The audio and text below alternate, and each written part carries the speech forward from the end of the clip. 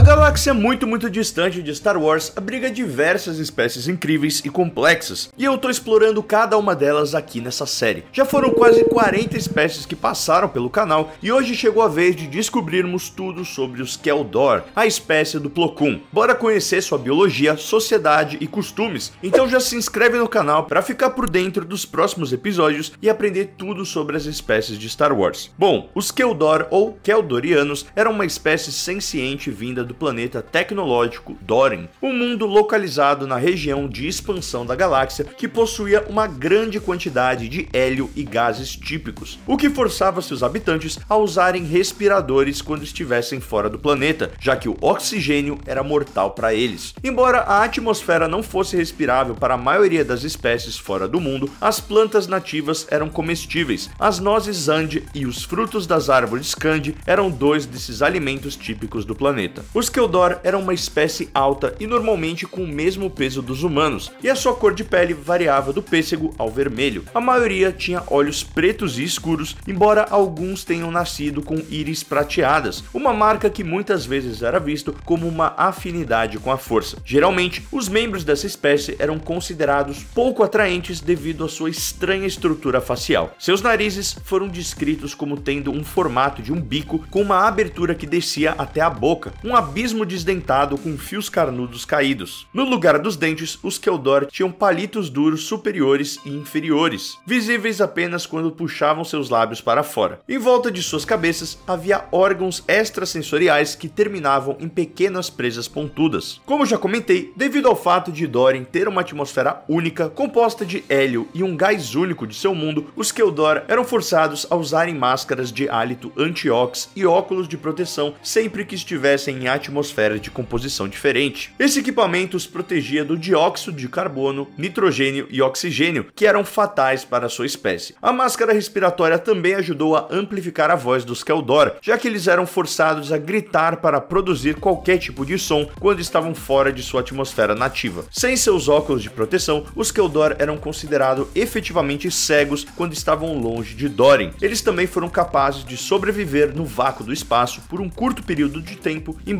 não soubessem exatamente por quanto tempo poderiam resistir. Os Keldor também tinham reflexos aguçados, resultado dos órgãos extrasensoriais em suas cabeças. Como espécie, eles eram considerados tipicamente rápidos e sábios, mas de constituição mais fraca quando comparados com outras espécies. Dizia-se também que os Keldor se comunicavam com suas mentes, usando uma forma de telepatia. Essa forma de telepatia foi considerada uma técnica da força conhecida apenas entre os mestres da Ordem Mas mais tarde foi exposta como uma mentira espalhada pelos sábios dessa ordem. Essa espécie conhecia a força muito antes de se juntarem à República Galáctica e aos Jedi. Essa orgulhosa tradição da força era conhecida como os Sábios de Barandô, que frequentemente atuavam como conselheiros das famílias Keldor mais ricas do planeta e mais poderosas. Inicialmente, seus poderes centravam-se na previsão do tempo, mas à medida que os sábios aprenderam mais sobre a força, eles perceberam que tinham afinidade para detectar e posteriormente prevenir eventos perigosos. Guerras e desastres eram frequentemente evitados simplesmente pela visão de um Barandô. Depois de ingressar na República, os sábios diminuíram em poder e em número, devido ao maior conhecimento dos Jedi sobre a força e o recrutamento de crianças sensitivas à força. Dito isso, os Keldor que estavam cientes de sua existência os consideravam bruxos excêntricos. No entanto, algumas famílias tradicionais ainda enviavam crianças sensitivas à força para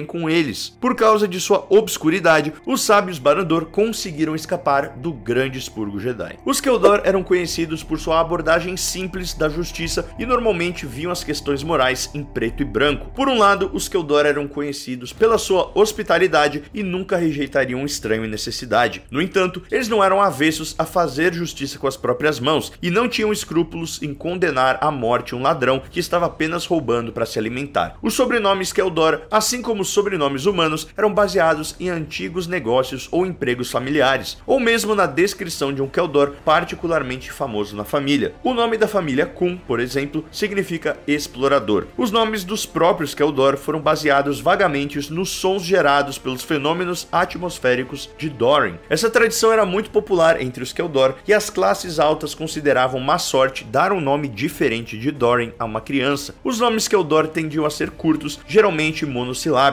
devido a uma antiga superstição sobre os espíritos do vento de Thorin. Ninguém acreditava muito nesse mito durante anos, mas o efeito que ele teve nas convenções da nomenclatura Keldor permaneceu. A tradição de usar os sons dos fenômenos atmosféricos significava que os nomes próprios dos Keldor pareciam não ter quase nenhum significado para um estranho, mas outro Keldor que tivesse ouvido o som em questão e pudesse identificar o fenômeno entenderia o significado por trás do nome. O membro mais notável dessa espécie foi o conhecido Mestre Jedi Plo Koon, que era membro de uma famosa família Jedi Keldor, sendo também o personagem favorito de Dave Filoni. Além dele, temos também Shakun, uma cavaleira Jedi que era sobrinha de Plo Koon. E se você curtiu esse vídeo, que tal desbravar a nossa playlist completa sobre as espécies, ou então descobrir quais são as criaturas mais perigosas em Star Wars? Tenho certeza que você vai curtir. Por hoje é isso, te vejo no próximo vídeo e this is the way.